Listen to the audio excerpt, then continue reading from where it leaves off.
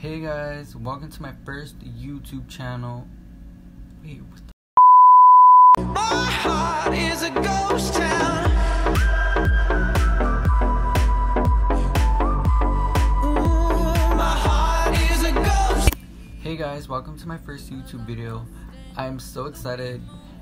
For the people that have been waiting, I'm sorry. I've just been super like busy.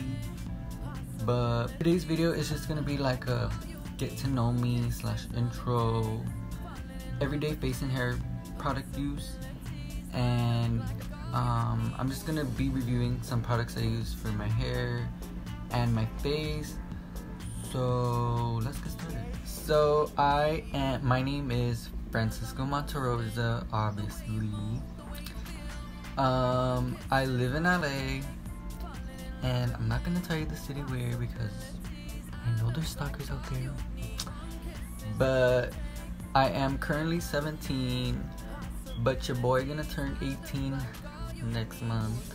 Yes, I am a July baby.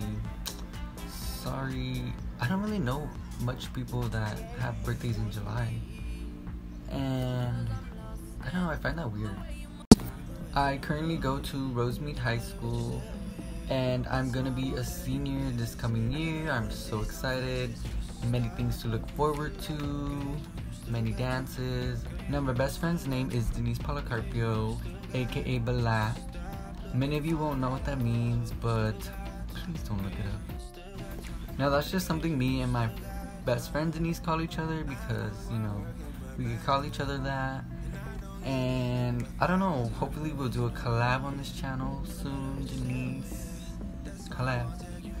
I just love it out here in LA. I know it's a little hot, but I like it because the weather's pretty cool. So the first products I use when I'm showering is I use this Love Beauty and Planet um, shampoo and it has coconut oil and yang extract. It's mostly for damaged hair, I guess you can say. It also came with an um, a conditioner, and it's basically like the same thing.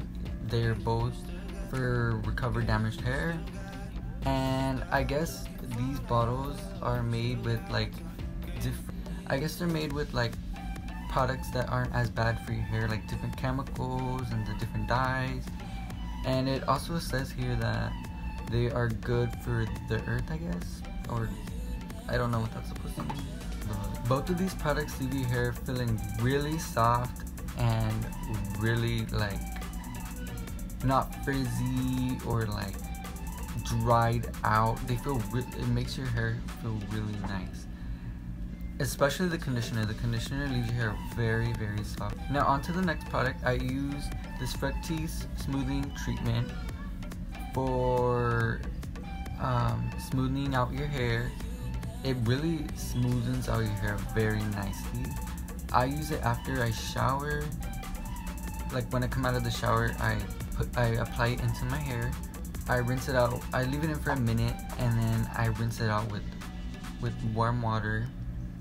And it also says that it is naturally 98% derived ingredients, so I guess these ingredients are much better for your hair. Another product I like using is called It's a 10, and you could get this like at any like CVS, um, Rite Aid, and, and I think it's really it's a really good product. Now this product says it does 10 different things. It says it repairs dry damaged hair, adds shine, detangles, controls frizz, and there's just like a lot of different other things it does.